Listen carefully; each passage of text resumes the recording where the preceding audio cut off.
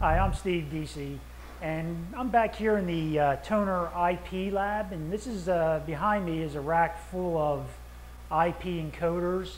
And one of the things that we like to do is train our sales team on the different manufacturers and the different IP solutions that, that are out there.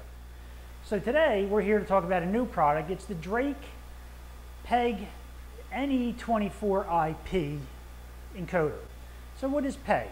Well, PEG stands for Public Education and Government. It's also great for sports venues as well. Now the PEG NE24 IP has two features, or has two options. You can order just for the SD, HD SDI port. That would be just a regular NE24 IP.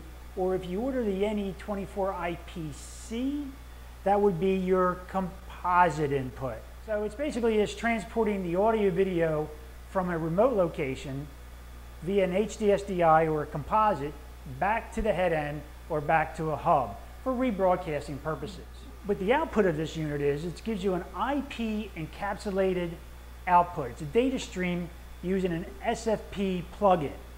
And this is very important when ordering the unit because you might order the unit without the SFP and it's not going to do you any good there's different applications. There's whether you want to use it in single mode, multi-mode, uh, CWDM, whatever the wavelength might be of your fiber system will determine what the plug-in is needed that's going to fit in the back of the unit for you to, for you to, uh, have it work properly. So the video on this gives you, uh, it's a 480i, 720p, and 1080i video output, and the audio is a Dolby Digital AAC stereo audio or MPEG-1 layer 2 stereo audio from a PCM embedded audio source.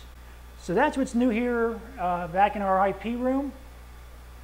Remember to give us a call. The uh, product is in stock here at Toner Cable. We're happy to work out your application. Thank you.